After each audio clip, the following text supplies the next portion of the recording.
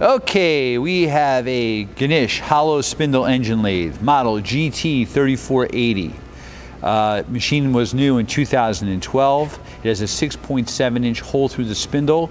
It actually uh, can get 90 inches between centers. Um, machine has a taper turning attachment and we're going to run it for you. Machine also has inch and metric threading capability. Right now we're running at a low RPM, which is 10. Machine goes up to 500 RPM. It's forward, now we're gonna run reverse. Forward and reverse, okay. We're gonna try a different speed. Machine has a wide bed, 22 inches wide.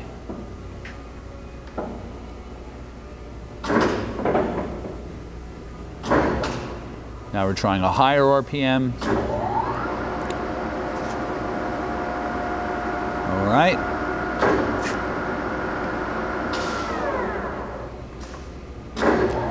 Forward and reverse, very quiet.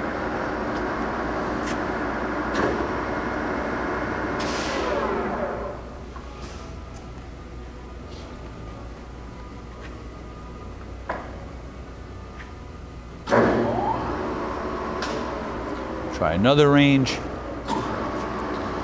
Okay.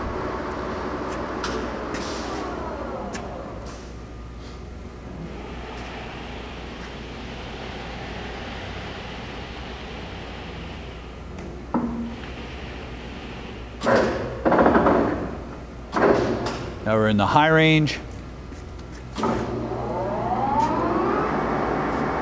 Okay, going quite fast.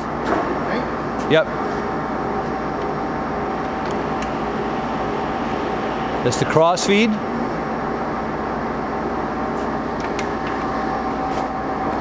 Cross feed reversed on the carriage.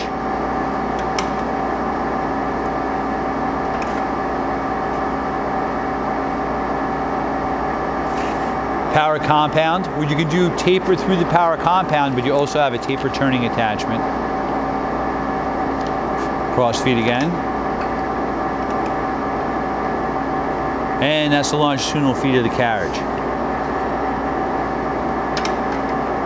You want to slow it down to do the, and that longitudinal feed the other way. Let's slow it down to do threading. That's pretty fast for threading. Spindle brake.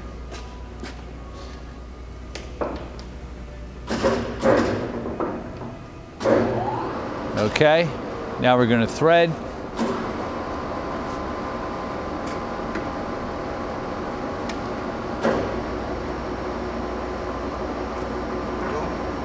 And we're threading. So you've seen it thread, you've seen it feed, um, you've seen all different spindle speeds. And last but not least, we are going to rapid. Rapid longitudinal, both ways.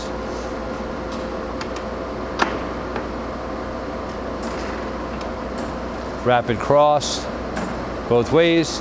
So you've seen a rapid feed thread.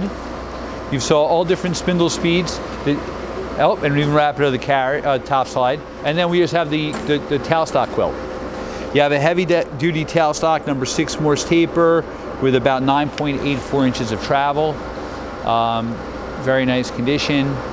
And hey, I think you've seen it all. Thank you for watching our video.